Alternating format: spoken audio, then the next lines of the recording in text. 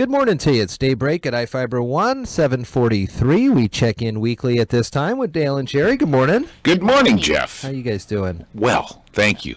Nurse Betty is almost out of a job. Oh, I am I'm sure you're just uh, crying these big old tears on well, that you one. know, I missed out on a lot of the budget meetings. There is one this morning, though. Uh, and, you know, the other things, I like to go in and catch up with what's going on with the city and Sure. stuff like that. So, uh, I, of course, next week and the rest of the month will be really slow. So, probably Nurse, start up in. nurse. How have you been doing, Dale? I'm doing good. And you please, if you wish, talk uh, uh, as uh, broadly or as not. Well, t- yeah, not to have some swirl of mystery or cloud of mystery around it. I, you know, I, I have alluded to it. I, I'm doing some rehab. I had back surgery, yeah. And uh, knock on wood, it all went very successfully, and I my legs feel wonderful, and uh, and I'm on the road to recovery. Tell so me about bef- So- right up before the surgery how you're feel how you were feeling and what you thought was the normal. so I now what it's like. Okay, so I had uh, a lumbar stenosis of my spine, which uh, people who've had backs things can uh, relate to that. Basically, uh, degeneration, arthritis, bone spurs, all that interferes with your nerves coming out of your spinal cord and down your legs.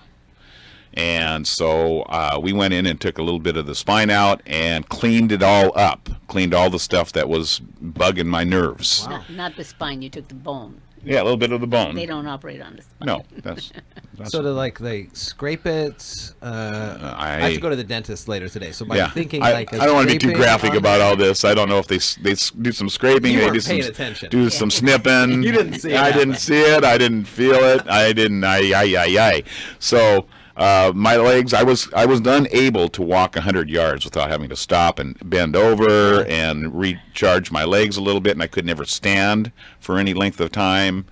And uh, they were just it was just progressively getting worse and worse, and it was it was uh, really getting worse quickly. Wow. So uh, we had to make a decision, and and uh, we just went for it. And I'm glad I did. Now, I'm in, in And there's several different options that are suggested, uh, and this is what the surgeon, of course, he is a surgeon, suggested. Surgery. But, yeah, but you know, you can get cortisone shots and stuff like that, but there's other side effects of the cortisone shots Yeah. too, and they don't last the whole time. So yeah, and I've seen a, a total difference because, you know, he. You know, he's he, he- even in his ability to stand because he never stood flat-footed. He always had him himself one direction or the other Oh, okay. and then uh, you know uh, the ability to walk and really our stage in life you don't want things to slow you down Yeah. you want to stay on top of that and and be sure that you're mobile and he loves to walk the dogs love to walk with him except in the rain and Well, that's the but so dog's this choice. is I you couldn't even get Winston off the porch. yeah He Yeah. wouldn't even he looked at it. and goes, yep. Nope. yeah, yep, nope. That's I got the same Yes. treatment yesterday. we went we went to Kokanee and took the van, opened the van door. Dale got out, and the dogs jumped out and jumped Went right back right in. back. Ah, no, no. and he, he tomorrow. tried to Yeah. coax them out, and eh, no way. So, Well, I'm glad that you're feeling better, Yeah. especially before next week with Thanksgiving. yes, Thanksgiving's on the way, and uh, that's an exciting time. We wanted to just uh, touch on that a little bit for everybody this morning as well. Uh, I'm going to be going up and, and seeing my grandsons this weekend, and kind of doing a pre-function. I think the majority of the that side of the family are all heading to Boise. Okay. So we're going to see my son and my daughter and the grandsons, and and do that this Saturday. But you know, we uh, in the past have had the folks over, and we've got Jerry's daughter coming over with her fiance this. Thanksgiving Oh, and uh, uh, do the tr- we doing a traditional turkey. Ah, yeah. Tell me how that goes. Yeah. yeah, we- Well, it's an easy one. It's an easy meal. And last year, uh, the kids came over for Christmas. Anyway, they didn't get turkey. Sure. and so they were both jonesing for turkey and gravy and you know potatoes and I do yams and you know some. What about green bean casserole? You guys do that? Yes, that's his favorite. So Yeah. that's one of those traditional things. My daughter wants uh, corn, Sure. And he wants green beans. So we have a little more veggie in the menu, but uh, you know I find it an easy you know meal to fix and then you know a good time to reconnect and just relax with the kids and any other family in the past and i'm sure the slakey family has it these traditional huge dinners that you have people coming over and the huge effort and whatnot all seems so, like so much work, but the recollection of those is always very fond. Yeah, yeah. Is- you know, and and on my side of the family, I recollect one back in the um, late fifties with my dad's side of You the remember. family, and I was, I think, yeah. yeah, and of course, of course, the kids, uh, my siblings, and nobody liked grandma's cooking, and that was the fallacy in the whole thing, you know. But everybody trucked over there, and Uh-huh. everybody ate, and, and then uh, I think there was a video at, at that time. Dad had one of those eight millimeter ones with my brother making faces at it. Thank you very much, Grandma, for all the work you put into this. But so you know, you You do have good memories. So everybody has, yeah. That's the that's the thing about this next weekend is that it's, it is a memory building thing. From you know Kaiser's age on up, you have certain Thanksgivings that you remember Yeah. through your lifetime. I was a small family, and uh, my mom and dad weren't that connected, and for distance purposes, they weren't too in touch with their siblings. So our Thanksgivings centered around a lot of uh, having owned a tavern. Yeah, yeah. In those days, the tavern would be closed on Thanksgiving, so the guys that didn't have family or whatever come on up to our place. So a lot of my memories are some of the bar guys that would come up and hang out all day and watch sure. football and, and that sort of thing. and you so. knew them too. Oh yeah, Yeah. Being there Yeah, yeah, kid yeah, yeah. stuff. So kind of a different twist on that, Yeah. but still, you know, they all have there's memorable ones and things that had happened during those events and those kinds You of guys things. ever have big blow ups? Caleb, uh, our intern Caleb, was telling me yesterday that most people now will have a minimum of two Thanksgivings. Some folks have a, up to five Oh, Thanksgivings. different different Thanksgiving. So I don't know if it's because of um, more uh, the divorce rate or this or that, Yeah. or people, you know, they have that one big Thanksgiving where there's 15, 20 people there, and of course, people's politics are different, and there's fighting, and then they and then There's they always slowly an separate. yeah. Yeah. Well, then you got to go to your wife's parents, Yeah, and you got to yeah. go to your parents, and The then you got and the to. out- It just really is Yeah. exactly the in-laws and the outlaws. Yeah. Yeah, well, you know, and and knowing that, and my mother was one of those that pressured you. You had to come to her house.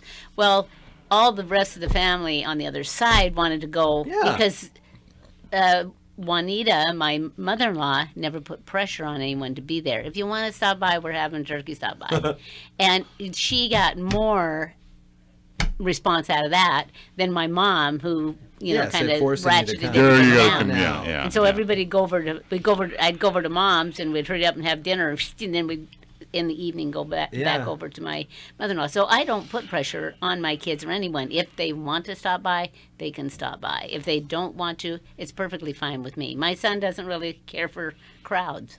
Yeah. In the past, two uh, because my husband was divorced before.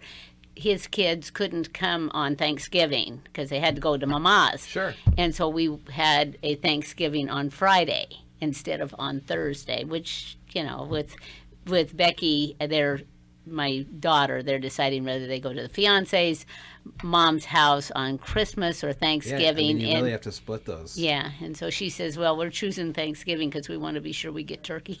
Then the other thing is Friday, and traditionally, uh, up until I don't know, maybe six or seven years ago, we had always worked on Fridays. Yes. done the Black Friday Oh, sure. morning show, and then um, kind of moved on to sleeping in or things or whatever. But that's still an, uh, still a big deal. Oh yeah, now. oh yeah, and that is a big, and that's a tradition now for a lot of people, your age especially. yeah. yeah. So uh, getting out to those stores and banging on the, and I say especially, I guess there's people from my my age that do that every year I too. remember before I was here, my sister-in-law and I, we were up at three o'clock in the morning standing in line at Isn't some that store crazy? thinking we're going to get Some big bargain. Yeah, right. Yeah. Well, I always liked the Friday after because it was like a free day, uh, and if you want to shop, big deal, go shop.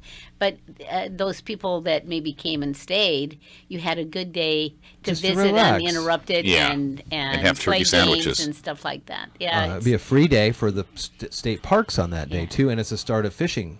Uh, a lot of folks are able Wow. to head out on the boats. Okay. oh, great, So great. there are options. Yeah. Yeah. One other thing it, I want to mention Mm-hmm. uh, it is the time of year when we're getting lots of letters. Letters requesting donations from everywhere. And multiple. And so, uh, Habitat, of course, is going to have a shoot out their day of caring, I think, um, and as will a lot of others. And like, or Dave Ramsey says, have you budgeted for donations? Oh, And- yeah, and a it doesn't point. have to be cash. Especially like with Habitat, they need volunteers. So if you don't have cash and you want to give back, volunteer. Um, and that could be in the store, it could be on a construction site or whatever. And uh, even in the items that you have. Um, that's me as I look at downsizing. I'm saying, oh my God, who wants this couch? You know, I can't advertise it enough to get it so that it's marketable. Yeah. But I certainly could donate that to Habitat, and they have many people going through, and that takes care of my donation as well as uh, clears my space. Sure, So sure. lots of ways, and and it is a time, and and I'm sure there'll be uh, trees up for adopting families and stuff like that. Something that while we have, while we don't think we have everything we need. We have a lot more than others. So Yes, that's a good- very make a, well put. Make a consideration for that. Very well put. So we'll see you guys next week. Yes, absolutely. Wednesday, same time. Mm-hmm. Yep. And we'll check in right before the long holiday here. Yeah. See if I got my turkey. Give you got your turkey to see Hope if I I've get some time off next week for that. Who you? yeah. Put a schedule.